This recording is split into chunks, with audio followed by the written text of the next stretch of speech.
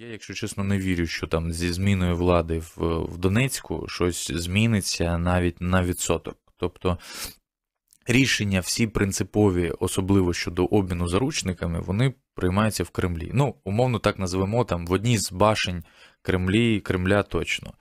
І е, як всі можуть згадати, то останній обмін великих заручників, який був е, наприкінці того року, е, він перед цим була така довга прелюдія, там, де Медведчук зустрічався з Путіним, там було навіть це на відео зафіксовано. Поряд з ним стояв Медведєв, там Патріарх Кирил, і і багато таких було там певних, е, ну, певного діалогу такого. Про що це свідчить? Хотіли показати, що Медведчук причетний до цього, і хотіли показати, що є людина, яка впливає, впливає на процеси. Та, на, на процеси. І хотіли показати, що Путін впливає на процеси як людина милосердна, яка там може повпливати на так звані там республіки і так далі. Насправді нічого не вирішують е, республіки. Ні Захарченко, ні Пушилін, там, ні Губарів, ні хто інший, хто там прийде або этот. Це виключно ляльки, які так впливають на якісь, умовно кажучи, внутрішні господарські процеси, на то, то хто там буде купувати чи не купувати там вугілля, які Причому фірми це переважно заходити. дрібні. От якраз дрібні, ми, так, да, ми так, зачепили це питання. Там насправді відбувається певна кількість. Цікавих по-своєму подій в так званій ДНР. Є багато версій, чому і хто прибрав Захарченка. Є багато версій, хто замовляв цей процес, але цілком очевидно, що на так званих виборах, яких виборах, які призначені на 11 листопада в Донецьку, переможе Пушилін. Можна про це говорити з високим ступенем ймовірності? Ну, це ну, це такий певний тролінг. Будемо зараз трохи зараз вангами і передбачимо, що переможе Пушилін. Так, Пушилін з великою явкою, з великими чергами на Слухай, дільницях. ну я все одно не розумію. Ну він все одно переміг. Ну давай називати речі своїми іменами. Там кому скажуть, то і переможе. Ну, будемо дивитися правді у вічі. Але але менше з тим, наші от весь цей цирк з замахом на одного з кандидатів Хакімзянова, колишнього так званого міністра оборони ДНР, з забороною в'їжджати на територію Хадаковському, так, Хадаковському і Пергіну. З, з рейдеруванням партії, партії Губарєва. Губарєва. От що, так, на, так. нащо це? Е, знаєш, е, ось у Донецьку там за мирних часів, там, умовно кажучи, 12 рік, був такий формат, де володарює партія регіонів. Має там 95% мандатів будь-якого рівня, там місцевих у Донецьку, обласного. Ну, там, твій і друг. Казанський казав інакше: 75% партії регіонів, 25% комуністів. Ну, я ну ні. Е, Якщо навіть зараз можемо зайти на сайт там територіальної виборчої комісії, побачимо, що, умовно кажучи, зі 100 депутатів там в обласній раді було завжди десь. 3, 4, 5 комуністів, потім вона трохи там змінила сильну Україну, там теж такі цифри були. Всі, всі інші це партії регіонів. Ось. І е, звідки це? Це з радянського минулого, тобто, коли була комуністична партія, ось просто там інших сателітів брали для певного. Ну я зараз не про не про часи там в 80-х, 70-х, там завжди була комуністична партія. Я зараз про такий про певну ширму. І зараз її е, злизали в з ДНР ем, е, і намагаються втілити. Що є партія, значить, партія влади там називається Донецька Республіка. Ось, і є, типу, партія Губарєва, там якесь маленьке вкраплення ну, просто пропусти, для. пустили для- б їх на вибори. А, ні, ні, ні, ні. Тут, тут зачекай, це ж все ж таки процес.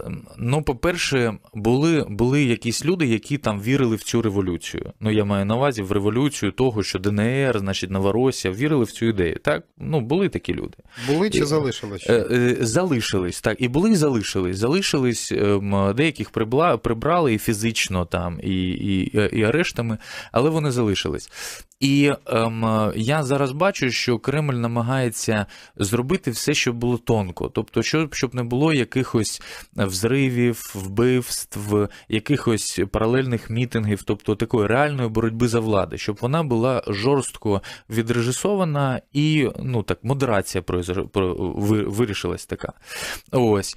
І я думаю, що якщо б, умовно кажучи, дати волю там Губарєву, його якимось прихильникам, там запустити Хадаковського і пустити в це в якийсь неконтрольований процес, то може бути хто зна що. Тобто, Слухай, ну я все одно, все одно не розумію. Я, можливо, не дуже занурений в ці процеси, можливо, навіть не дуже хочу бути зануреним, але за логікою це виглядає наступним чином. Кожен з провідних, будемо називати їх так, політиків на окупованій частині Донбасу має свого московського куратора. Так. Що складніше, е, точніше, що простіше, зібрати їх в одній кімнаті, посадити кураторів напроти, сказати так. То у тебе буде 3%, у тебе 5%, у тебе 7%. І ти не рухаєшся, якщо не хочеш а, е, обрати для себе долю.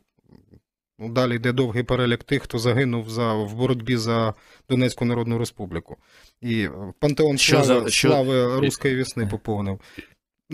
Який це неконтрольований Що процес? заважає? Ну, я Ходаковському, ну, хто він такий, пояснити Пургіну, Ні, дивись, я думаю, що там їм пояснюють іноді, хто вони такі, так. Але, ем, ем, але по-перше, куратори це теж різні башні Кремля. Тобто, які конкурують між собою. Раз. І друга історія: Донецька Народна Республіка, там Луганська Народна Республіка це також великі гроші. І якщо домовлятись, треба домовлятися і про гроші. Тобто, хто буде контролювати там нафтовий бізнес, хто буде контролювати вугільний бізнес, хто буде кон- контролювати общепіт. Можливо, е, я знаю зараз, що в е, там безпосередньо в Донецькій Народній Республіці е, так званій рівень економічний він ну на нулі. Тобто там яйця купують з Казахстану, там хто зна що. Ну, Але- тоді великі гроші? Але все ж таки він є. Тобто, з, д- з, з тієї території виїжджає в Росію вугілля, а це мільйони доларів. Приїжджає нафта, це також мільйони доларів. Люди все ж таки щось споживають, щось їдять, якісь, якісь продукти. Це також мільйони доларів. І вони ділять цей ринок. Я розумію, але от, ну, версія була одна з найбільш поширених і, напевно, одна з найлогічніших версій про те, що справді оцей заколот, назвемо його так, захоплення влади Пушиліним, це було мало перш за все економічне підґрунтя, тому що Захарченко нам- намагався комизитися, він контролював якусь частину великих шматків, а зараз все це віддали під Курченко. Ну і фактично Пушилін з точки зору бізнесу контролює тільки невеличкий малий і середній бізнес. Це ну, так чи ні? ну так і є. Я коротко скажу, там, знаєш, давай так, коли вбили Захарченко. Почалися різні версії, починаючи з того, що там вбив його Ходаковський, який постійно хейтерством Ну, вони займа навряд чи так, але я просто проробляю версії, закінчуючи тим, що це були українські спецслужби. Значить, по кожному по кожній позиції я можу пройтись, але я все ж таки я впевнений в тому, що е, це була одна з групировок, яка так чи інакше там фінансується, або в яку входить Курченко. Е, В них е, був дуже такий ну, конфлікти на фоні грошей ще з 2014 року. Якщо там згадаєте і проаналізуєте, значить Захарченко. е, Так, я із- розумію, що це розмова довга, тому давай невеличка перерва, не перемикайтеся, далі буде цікаво. Я не даремно запитав про Пушиліна. Чому? Тому що, крім того, що є там мовити економічна версія. Тобто, що, що його прибрали за замовленням, скажімо так, Курченко, якому Захарченко не давав дістатися до якихось великих шмат, шматків того економічного пирога, який там ще залишився. Є версія, що прибрали його, тому що він був дуже неслухняний російській спецслужбі. Є ціла низка версій, але є версія, яка мені здається, ну, щонайменше логічною. Тому що е, Захарченко був людиною, яко, яка, як, наприклад, свідчили той самий Ходаківський, е, той самий е, Гіркін Стрілков, що е, пан Захарченко, коли перехиляв килишок, він пускався берегом, він впирався рогом і намагався гратися в незалежність. Ну, зрозуміло, що його час, час від часу били по руках, але менше з тим. Він спирався на своє власне приватне військо, достатньо велике, яке зараз загнали в стойло, його просто части, частково розпустили, частично, частково загнали під е, так зване МВС ДНР та армійські корпуси. А натомість Пушилін це людина, яка не має власного війська, людина, яка більш лояльна до Москви. Більше того, якщо Захарченко був противником мінського процесу, як такого, і ніколи цього не приховував, то Пушилін фактично це і є уособлення мінського процесу. Він був переговорником від е, так званої ДНР у мінському процесі. Він постійно виступав за мінський процес, і багато хто вважає, що заміна Захарченка на Пушиліна це один крок в напрямку до реалізації так званих мінських домовленостей для того, щоб нарешті так звана ДНР пішла на поступки, що там відбулися вибори, які прописані в цих угодах. Ну далі за текстом. Це можливо чи ні? Е, щось є в цьому як раціональне зерно. е, значить, це правда. Е, що в першу чергу правда?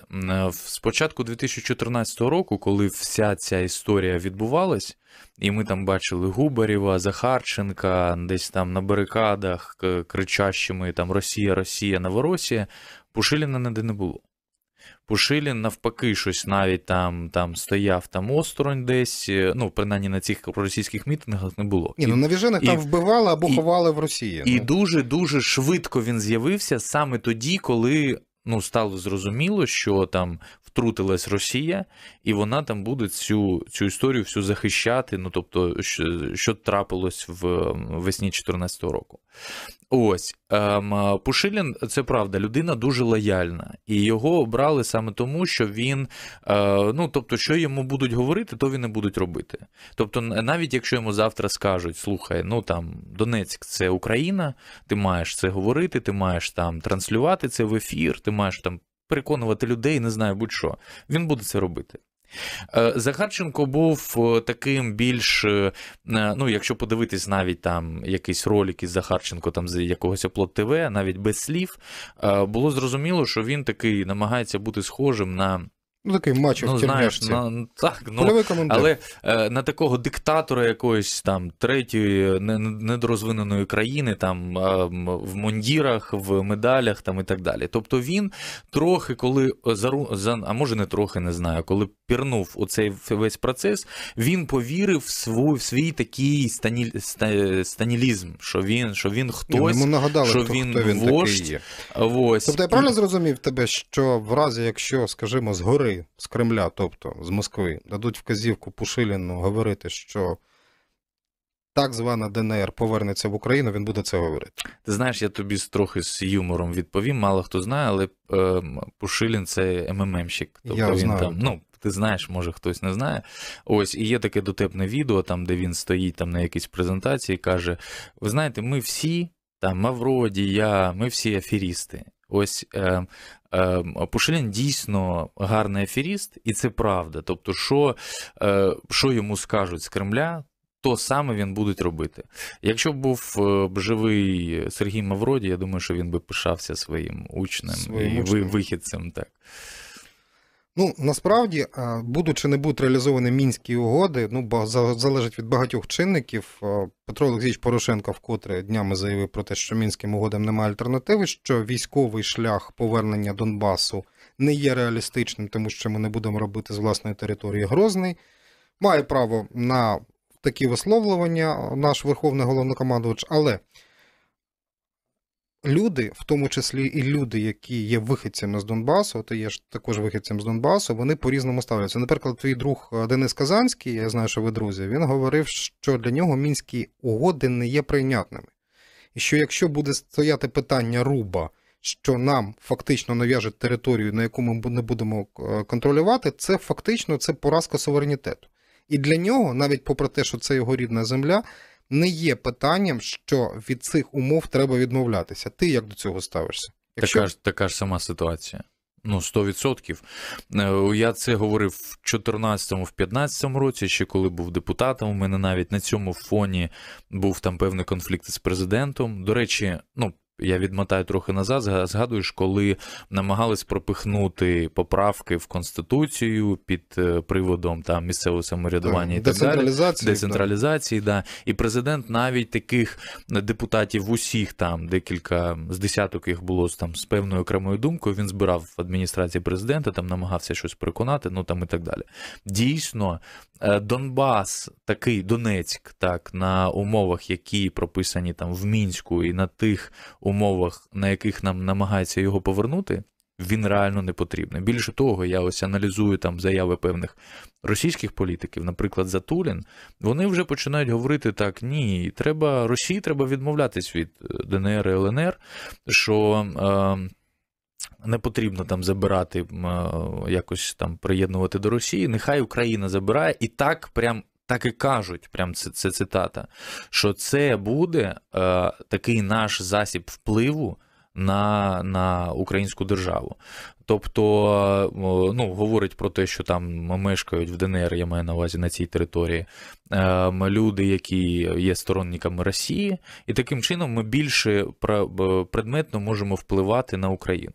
І насправді, ну, і насправді він говорить, е, напевно, те, що на умів у- Путіна. Якщо була можливість, Путін би віддав би на умовах, які пропонують Мінськ, віддав би частину е, Донецької і Луганської області. Тому що це виборці, тому що вони підуть на вибори і проголосують, як ви згадаєте, за які партії. І я можу сказати, що це навіть не буде там опозиційний блок. Це будуть явно проросійські партії. Е, Ми не будемо контролювати не правоохоронні органи, не судові органи. Тобто, ну я навіть не хотів би навіть знаєш там замислюватись і фантазувати, до яких наслідків це може призвести. Тобто, це, це реальна загроза національній безпеці.